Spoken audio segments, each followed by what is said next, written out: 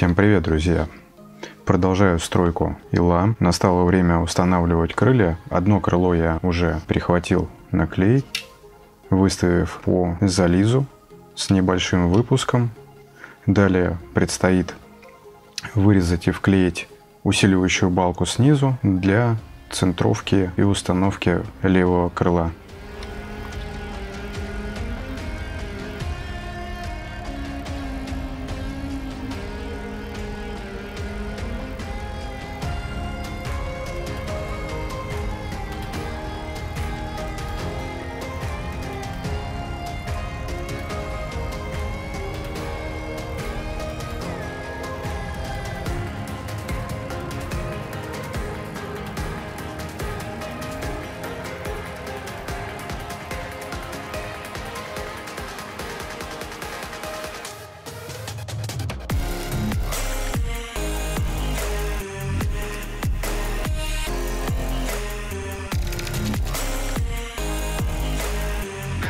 Балка продольная вклеена, вклеен усилитель распорка из кусочка э, летника. Также сюда пришлось наклеить полосочку из полистирола миллиметрового, так как нужно придать V-образность крылу. Без этой вставки, скажем так, не получается задать угол. Также хотелось бы отметить, чтобы приклеить нормально крылья, я сделал вот такие вот накладки из миллиметрового полистирола на внутренней части зализа, на внутренней стороне зализа, так как при смещении крыла наружу остается очень мало места для зацепа зализа и фюзеляжа. Далее я это приклеиваю уже совсем хорошо намертво и буду выводить поверхности брюха самолета начисто с дальнейшим раскроем. Также далее отдельно поговорим про иллюминаторы. Как я их делал, я их покажу. Здесь вот есть два иллюминатора, которые даже не вырезаны в пластике. Как раз на них и посмотрим тот способ, которым я делал все иллюминаторы. Так склеивать я буду на вот такой томеевский клей. Он подольше, в принципе, можно и револьным клеем обойтись, но у меня в данный момент под рукой такой клей, поэтому буду пользоваться им. Мне он нравится побольше. Также все зазоры, которые у нас сейчас здесь остаются, их придется заполнять шпатлевкой, для того, чтобы потом можно было спокойно это все обрабатывать. При нанесении клея на такие участки, как зализы, вот здесь ответная часть да, фюзеляжа. Нужно это делать очень осторожно, чтобы у нас не потекла капля на иллюминаторы, на внутреннюю сторону фюзеляжа. Отложим эту половиночку, также нанесу клей на крыло. Клея надо наносить не очень много, не очень мало. Важно, чтобы клей хорошо подъел пластик, чтобы крыло хорошо зафиксировалось, чтобы от малейшего удара или там, если задели модель, чтобы крыло не отошло и не разорвало ваш клеевой шов. Так, и дальше, ориентируясь по зализу, будем устанавливать наше крыло на место. Примерно на глаз смотрим, насколько у нас выходит зализ. Ну, ориентируемся по правой стороне так, чтобы это было одинаково с двух сторон.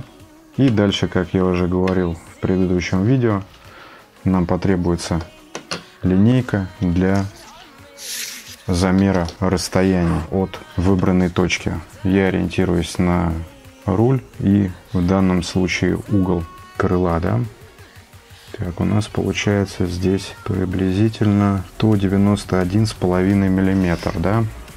Соответственно, и с этой стороны должно быть то же самое. Не очень удобно это, конечно, делать сейчас.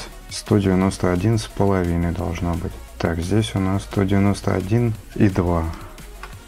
Да, соответственно, нам нужно выдвигать на это расстояние и с этой стороны на несколько десятых там сотых. В принципе, это не криминально, если будет чуть-чуть, прям вот доля миллиметра будет не ровно, это не криминально, этого зрительно определить, ну, скажем так, просто тяжело это будет определить. Так, и дальше нам нужно поймать V-образность крыла, ориентируясь, скажем так, прицеливаясь на центр самолета, нам нужно выловить V-образность крыла, чтобы у нас не получился фюзеляж вот так вот с наклоном, да, и кабина, соответственно, относительно одного из крыльев. То есть крылья у нас должны быть одинаково, одинаково относительно фюзеляжа. Постараемся, постараюсь этого добиться.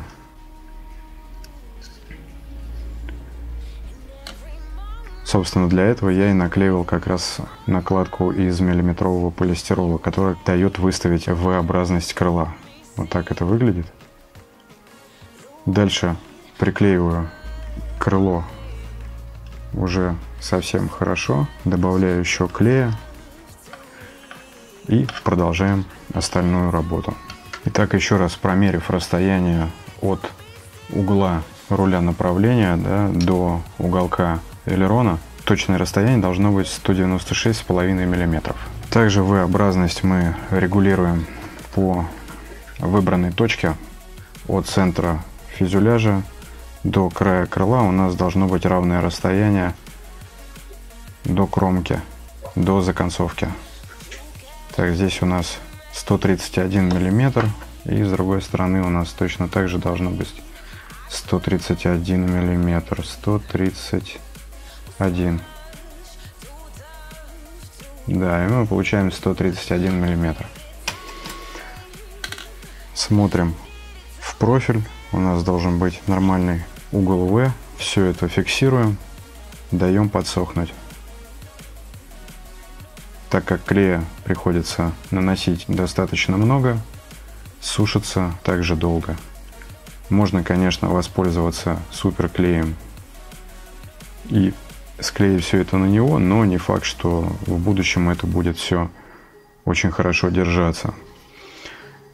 Вот эти вот зазоры, которые у нас здесь сейчас есть, я буду заполнять тем же пластиком, из которого отлита модель, то есть буду брать кусочки литников от рамок, как-то их нарезать и заклеивать. Для чего? Чтобы у нас материал был одинаковый, по которому потом резать крой для удобства. Я это делаю на будущее, чтобы не было материала разной плотности, чтобы скрайбером можно было легко одинаково везде э, пройти и также обработать это все наждачкой.